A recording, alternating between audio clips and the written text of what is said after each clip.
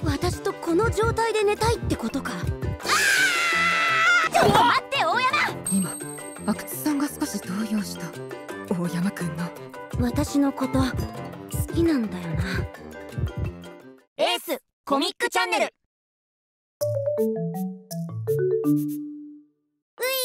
いー！やっぱ旅館は浴衣だよな。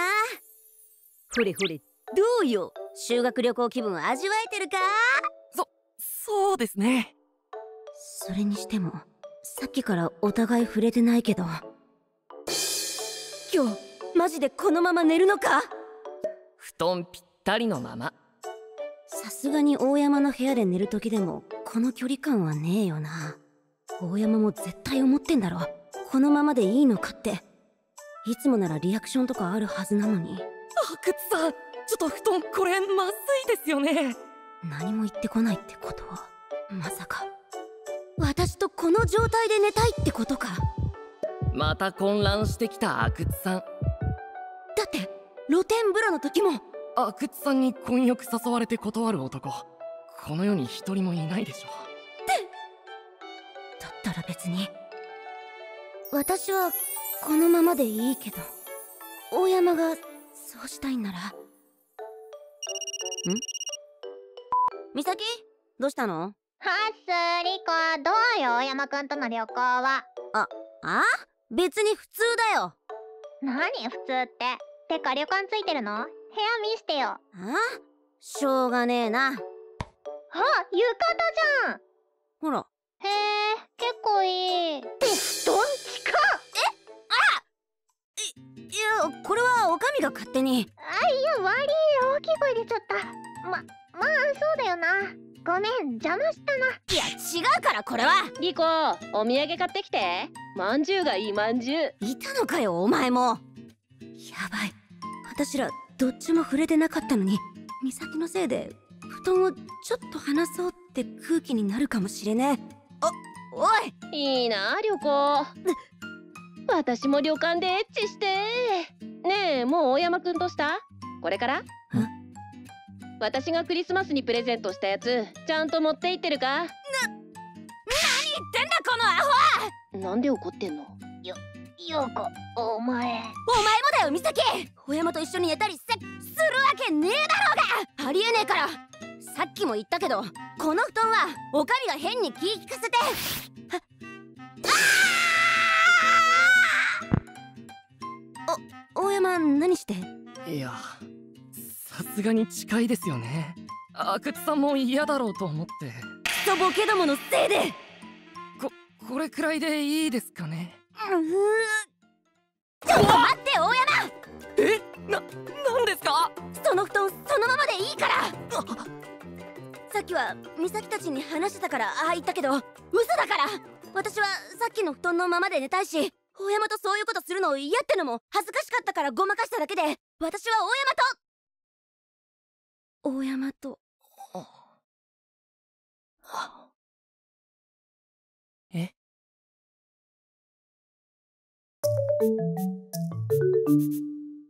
大家さんこれお土産どうぞ。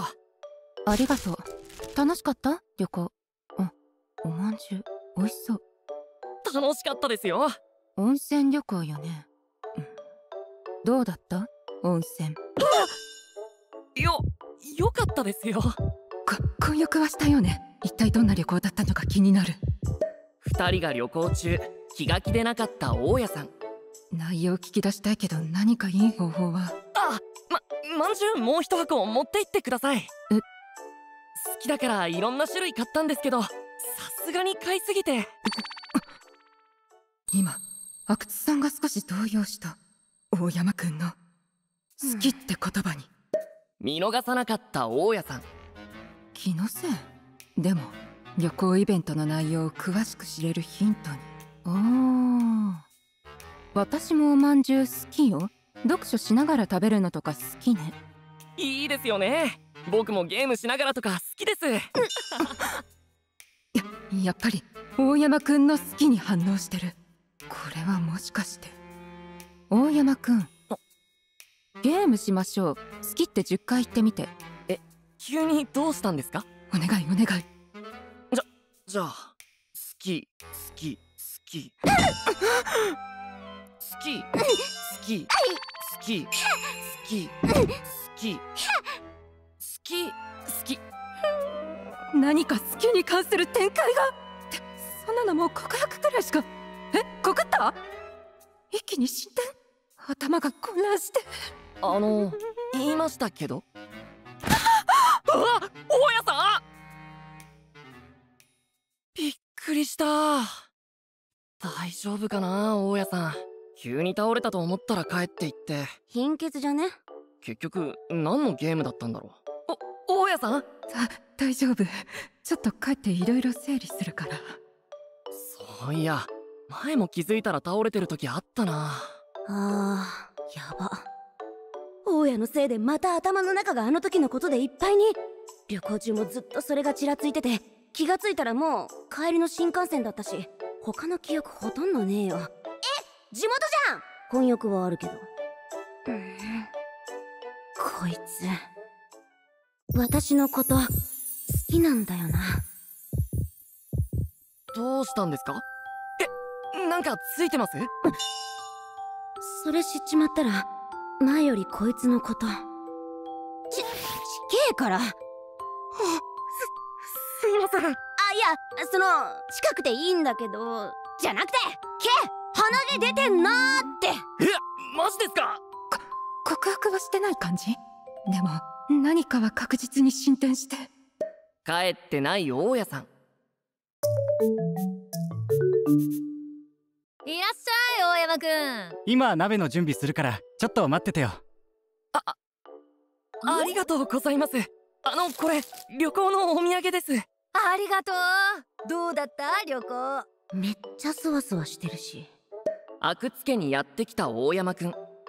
いやまさか阿久津さんの家に行くとは。お前大晦日とか正月さ親と会うの？いや仕事が忙しいみたいなんでいつも通りですけど。あのさうちの親がお前呼んで年末鍋しようって。え？めちゃくちゃ緊張する。ねえねえ旅行どうだったのって。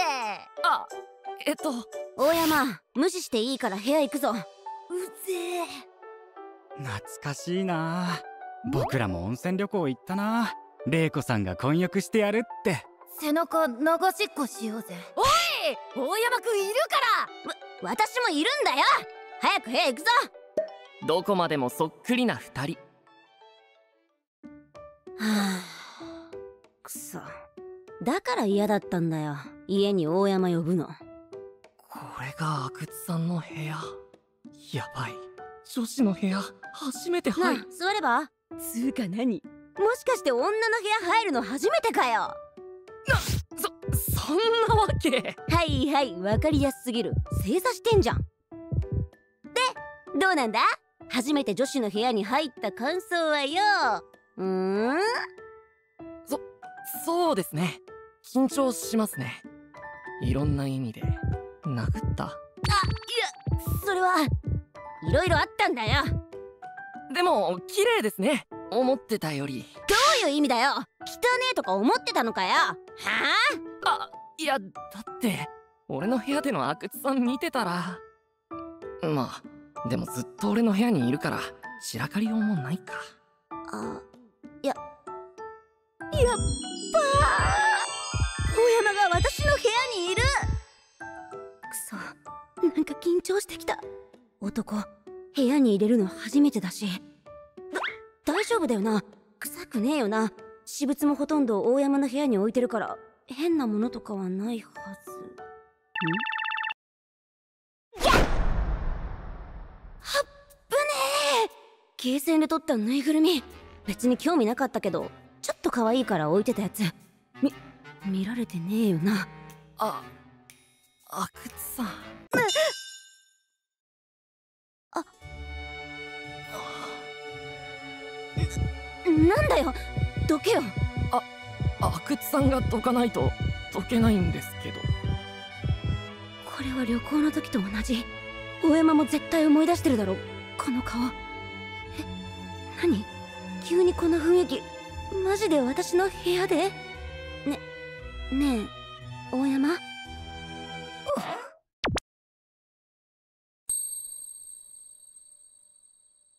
ちょちょっと飲み物とか追加で買い出し2人で行ってくるわ。ノックしたんだけどな。2時間くらいかかるかも。ちょババア！ち違うか！らこれはおーい！続く。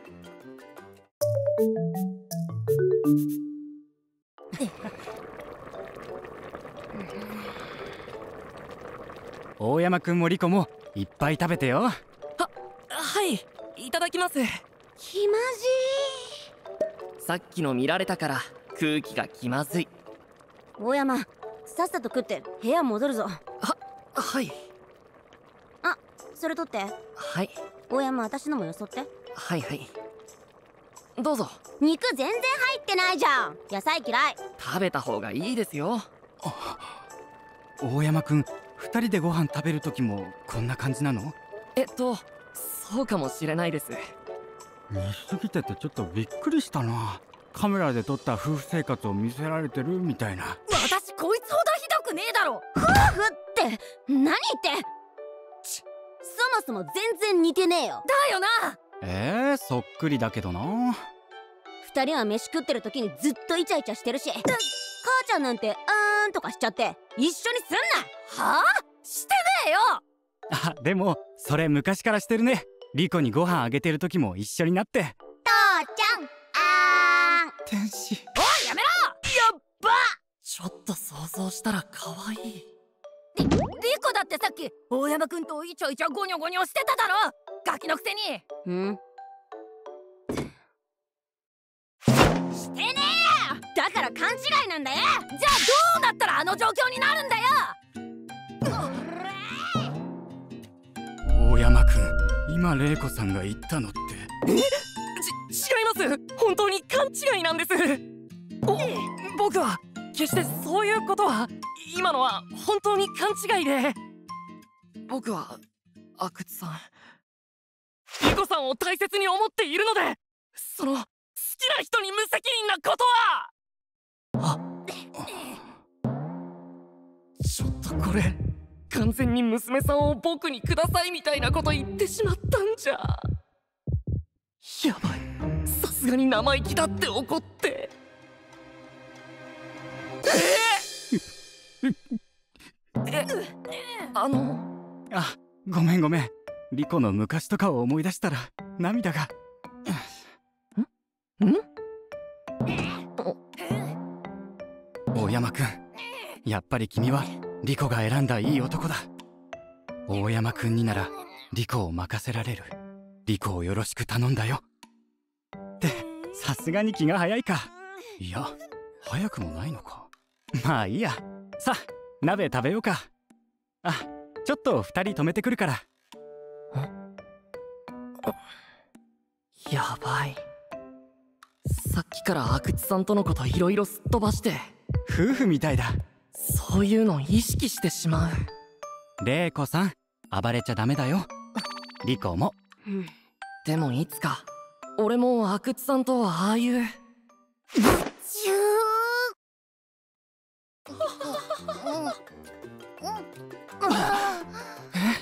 玲子さん何を？頭なでなでされたからついスイッチ入って。とりあえず今はご飯を。だってえさっき大山くんとリコのを見て私もずっと我慢してたから。あいやち違うのよ大山くん。さあご飯食べ。帰るから。いやお前んちここ行くぞ大山くん家に緊急避難した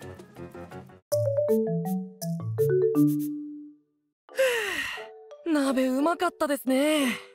あの後阿久津母が鍋だけ持たせてくれた。年末にまで親のおぞましい光景見せられて食進まなかったわ。ゲフ結構食べてたような。でもいいじゃないですか。仲いいの。あ？お前本気で言ってる？よしお前もイメージしろ。お前の母ちゃんがイチャイチャしてる姿を。あすみませんでした阿久津さんの気持ちが分かった。にしても食ったら眠くなってきたな。明日美咲らとの初詣。どうしよう。準備すんのだりーしドタキャンしようかな。寝てたら起こしましょうか。さっきのが頭から離れない。ん。初詣ってそもそもよく分かってないんだけど何すんの？え？前行った時他校のバカにクソみたいなナンパされた記憶しかないんだけど。君かわいいね。ねえこの後みんなで。君は妹？んだと？うぜえ。今すぐ私の視界から消えろ。イケメンじゃん。ちょっとそこの裏行こう。若干言ってほしくない大山くん。あれですよ。神様にお願いするんじゃないですか？いいことありますようにとか願いが叶いますようにって。ふーん願いが叶うようにお願いね。うん。じゃあ行った方がいいのか？行くんですか？ちなみに何お願いするんですか？あな何って？何って？何か食べて帰ります？家で食べる。スーパー寄って帰ろう。お前には関係ねえよ。つうかお前は行かねえのかよ。え神頼みしといた方がいいんじゃねえの？好きな人と付き合いますようにとか好きな人で童貞卒業したいとか。こいつの好きなやつ私俺はそういうお願いはしませんよ。え？俺そういうのは自分の力で何とかするんで。ら来年中には。いやもっと早く。あああれですよ。そのやらしいこととかそういうのじゃなくて叶えたいことは自分の力でって話で。それって来年には私に。まあまあ頑張れよ。お前ならいけんじゃね？と初詣のことで美咲に連絡するわ。俺鍋洗ってきます。大山がそう思ってんなら私も自分の力で大山に。でも自分の力でつっても現実的に考えて今の私じゃ一緒。あリコどうした？美咲相談に乗ってくれ！もう頭おかしくなりそう！は？旅行から帰ってきて私ずっと。え？明日の初詣はなしで。でも直接会って話して。初詣より大事なんだって。頼む。勢いで。来年中に何とかするって言ってしまった。どうなる来年？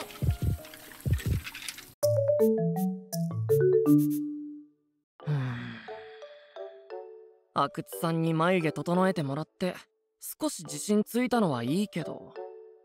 服服って何着ればいいんだ？はあ。ファッションのことは何もわからない大山くん。阿久津さんにふさわしい男になるために服もバッチリ決めたいけど今までそんなに興味なかったから本当にわからん。こういうおしゃれな感じの着ればいいのか？そうすれば。へえいいじゃん。ひひ。って好感度上がるかもしれないけど100%失敗して逆効果になる未来しか見え だっせそれはねえわ。絶対一緒に歩きたくない。ないマネキン通り着るか？それか阿久津さんの好みとか知れれば考えるヒントになりそうだけど。阿久津さん自身のファッションも個性的だよな。俺もそっち系に。いやないないない。あ？うーんどうしようこうなったら阿久津さんに遠回しに相談するか？いやでも眉毛もやってもらって服まで相談ってなんかかっこ悪いような。あれ？阿久津さん？今日用事あるから来ないって。あいらっしゃ。よよ。う用事終わって暇だったからよ。漫画読みに来たねえ。昨日読んでたやつの続きどこ？かわいいな。あいや。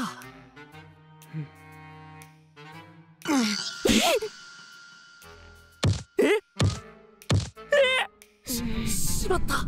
つい声に出て。俺みたいなのが上から言ってる風に聞こえて切れた？というかこの格好いつもと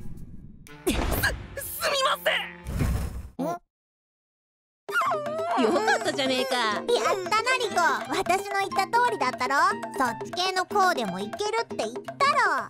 私服ギャップ作戦成功じゃん。ってもういいだろ。言ってへんだけど。えそのリアクションは嬉しいやつだよな。力入れすぎじゃね。ちょっ何この状況？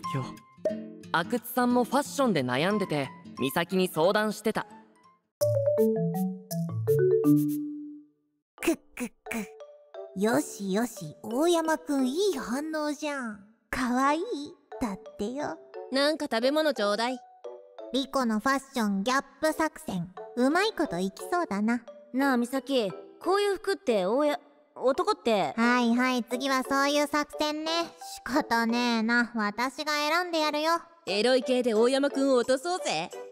リコいい雰囲気だしこの流れで。うお可愛いって言われておかしくなってる。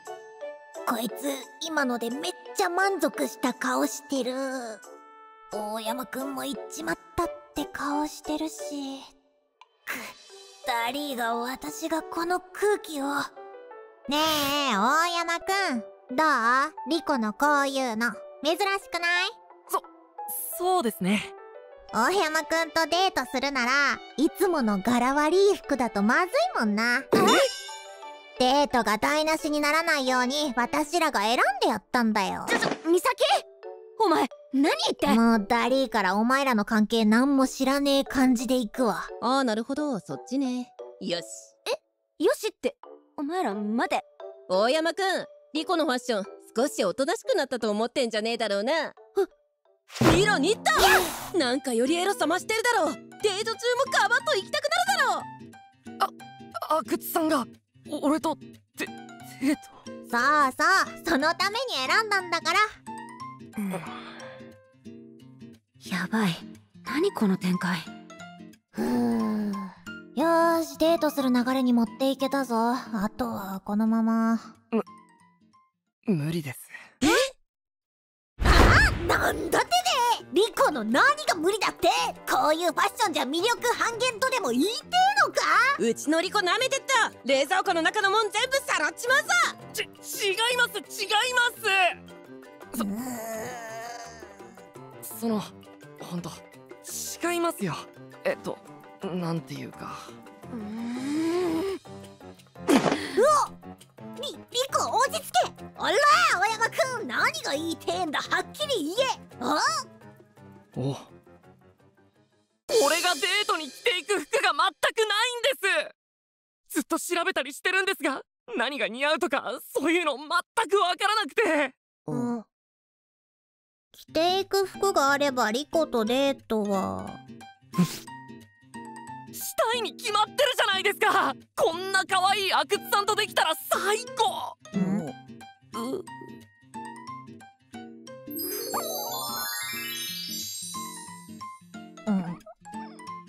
安心しろ大山くん。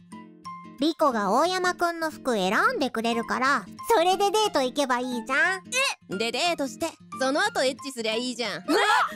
何気にデートが確定した。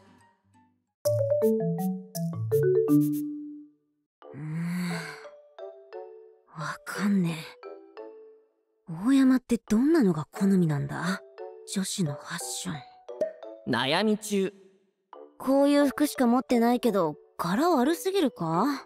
私はかっけえと思うんだけど。でもももし一緒にどっか遊びに行くことになったとしたらやっぱその時のために服買っといた方がいいよな。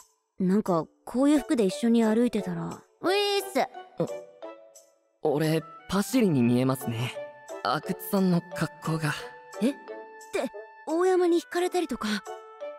えー、どうしよう。つっても服なんて何買っていいかわかんねえよ。いやでも。大山は私の柄悪いのとかそういうのも込みです好きって。ああもう。いいわめんどくせえ。服なんて好きなの着てれば。つうかな何も進展してねえのにくだらねえこと一人で妄想して。気持ち悪い。うわ寒。ん？ああリコ今から大山くんち行くのか？ちょっと待ってろよ。飯作ってやるから待ってけよ。うん。ん？やっぱ美咲たちに相談するか。あ美咲んち行くの？飯いらね？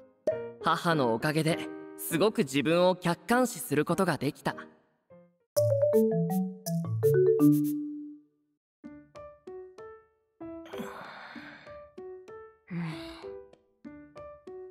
大丈夫か？デートの場所が公園で。昨日。え？大山くん服買ったの？リコに選んでもらったの？よかったなじゃあデート行けるな。デート。ちょ美咲。そその話はまた予定もあるし。お前らどうせどっちも言い出せず引っ張るだけだから明日行け。休みだし。じゃあ公園とか。おうやったなリコうっせってなってきてる感じだけどそもそも阿久津さんは今の状況に対してどう思ってんだ？何か会話普段話さないような。っていうかもっと広い公園にすればよかった。話題が。あちょっと機嫌悪くない？あー。ん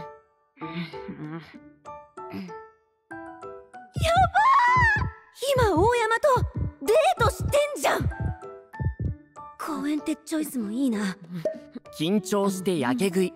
それに私が選んだ服もクソ似合ってんじゃん。言い出すのめっちゃ恥ずかったけど進めてよかった。っていうか大山のことほぼ室内でしか見たことなかったけど太陽光で見る大山も。え？な喉に詰まうわちょっと待ってください。水もう少しゆっくり食べた方が。う楽になりました？ーもうちょい背中やって。あの人たちあ見てあのカップル。めっちゃイチャイチャしてる。すごいな。見てんじゃねえぜ！ヤンキーじゃん。ししつうかどれがカップルだ？ここんなやつとそりゃ周りから見たらさすがにそう見えるか二人で飯食ってる時の素が出ちまった。ん？え？ししまった。さっき私こんなやつって。何言って？いやちげえよ。ごめんって。わ私はカップルって言われてむしろそう見えてんだって嬉しあ？う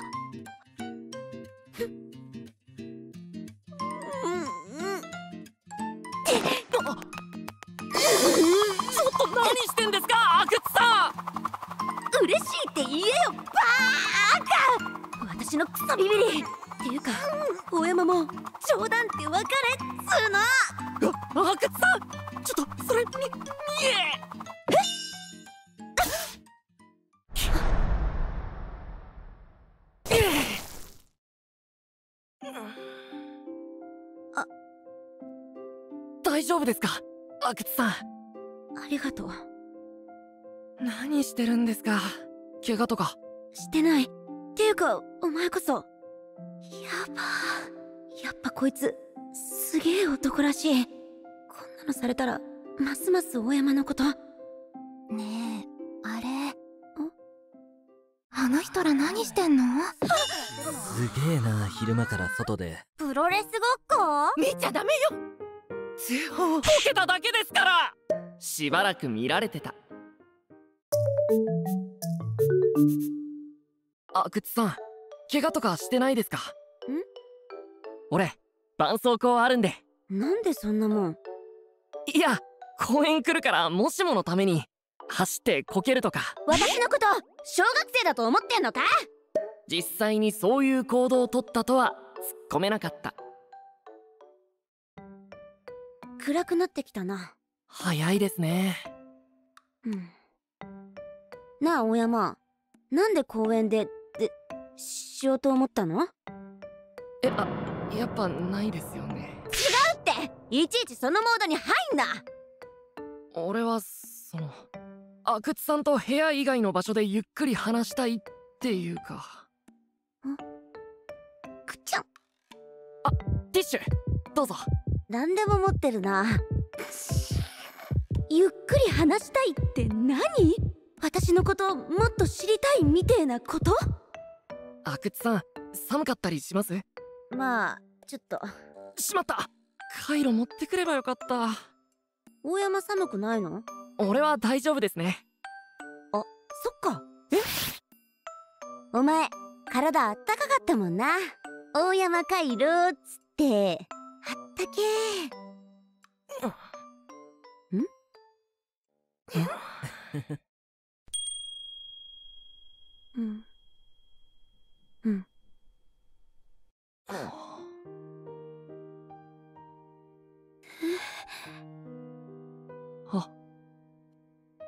ああ阿久津さんその冷えるなら他のとこ移動しますか？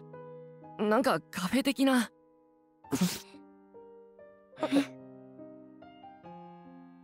いや今あったけえからもうちょい話そうぜじゃあもう少し。うん。しばらく話し込んだ。